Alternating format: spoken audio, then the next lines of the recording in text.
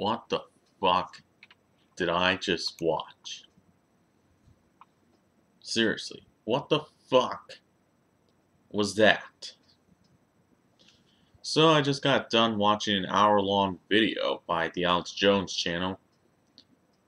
It's titled Trump Rally Gets Bloody. And of course, it's a bunch of Donald Trump protesters basically doing their thing. Basically, what happened was they went on a riot. They attacked Donald Trump supporters and they damaged cop cars during the process.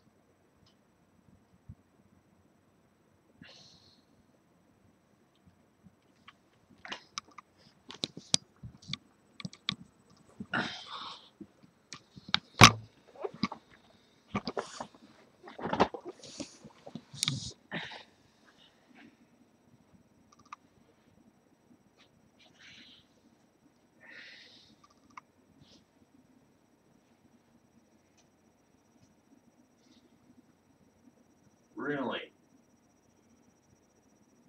America? Is this where we're headed? Where now every fucking protest that has to be held must be a goddamn riot in order to fucking succeed. Where the fuck do we live where this is acceptable? What those protesters did was riot. It's not a peaceful protest. They injured civilians. They destroyed government property. Because, believe me, or correct me if I'm wrong, but aren't police part of the government as well? Just not for nothing. And what's worse, the cops basically had to stop the riots multiple times.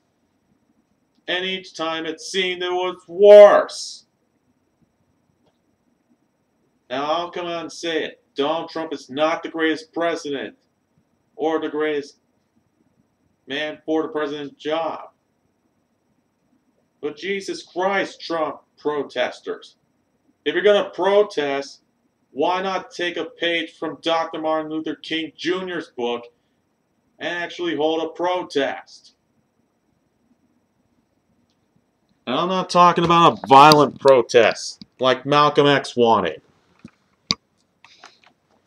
I'm talking about a protest where you're peaceful. What I mean by peaceful is you don't disrupt is you don't disrupt people from going into buildings to hear Donald Trump's speech. You do it in a non-related area, you pretty much bring up facts that will sway people to vote against Trump. And you don't destroy anything. That's what leads to a good protest. Oh, and also, you have to be able to handle criticism. That's what made Dr. Martin Luther King Jr.'s protest so successful is because he was able to handle criticism against his protest. And like I said, Donald Trump is not the greatest presidential nominee. But after watching that video, which I'll link in the description below, I guarantee you about 60% of the people that watch this video are gonna go when it comes time to elect a president and vote for Donald Trump. You're really gonna stand there and tell me that rioting will bring your message out more than just a peaceful protest? Give me a fucking break. We live on fucking planet Earth.